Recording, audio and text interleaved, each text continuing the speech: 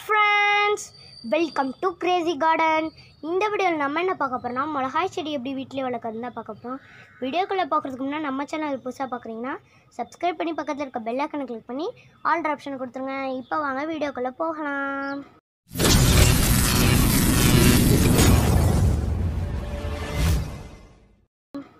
வீடியோக்குள்ளே வந்தாச்சு. மிளகாய் செடி எப்படி வளர்க்கணும்னு தான் பார்க்க போகிறோம் மிளகாய் செடிக்கு நீங்கள் வச்சுருக்க பாட்டில் போட போகிற மண்ணுக்கு நிறைய சத்து தேவை. அந்த சத்துக்காக நம்ம காய்ந்த இலைகள் சேர்த்துக்கலாம். காய்ந்த இலைகளில் தான் குரோலோஃபில் அதிகமாக இருக்குது குரோலோஃபில் அதிகமாக இருந்துச்சுன்னா நீங்கள் விதைய விதைக்கிறீங்களே அந்த விதைய வந்து வேர் விட்டு அந்த குளோரோஃபில்லில் உறிஞ்சிக்கும் அப்போது உங்கள் இலை பச்சையாக நல்லா பச்சை பச்சையாக இருக்கும். அப்படியே நீங்கள் மண்ணில் சத்து இல்லைன்னா இந்தமாரி உங்கள் இலை மஞ்சள் மஞ்சையாக தான் இருக்கும். இங்கே பாருங்கள் இந்தமாரி மஞ்சள் மஞ்சள் இலையாக இருக்கணும் இப்படி ப நீங்கள் கோரோஃபில்காக அந்த காய்ஞ்ச இலைகள் சேர்த்திங்கன்னா உங்கள் இலை இப்படி பச்சை பச்சையாக இருக்கும். இதேமாரி தான் நானும் சேர்த்தேன்.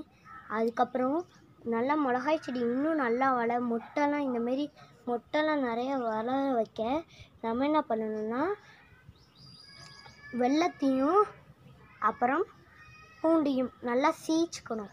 சீச்சிட்டு அதை ஒரு நல்ல கண்டெய்னரில் மூடி வச்சிடணும். மூடி வச்சு ஒரு நாலு நாள் கழித்து அதை எடுத்து வந்து ஒரு நீங்கள் காலையில் அரை லிட்டர் தண்ணி ஊற்றுங்க சாயங்காலம் அரை லிட்டர் தண்ணி ஊற்றுங்க அந்த அரை லிட்- அப்போ ரெண்டும் சேர்ந்தா ஒரு லிட்ரு அந்த ஒரு லிட்டர் தண்ணியிலக்கு ஒரு ஸ்பூன் நீங்கள் போட்டிங்கனாலே போதும் அந்த உரத்தை.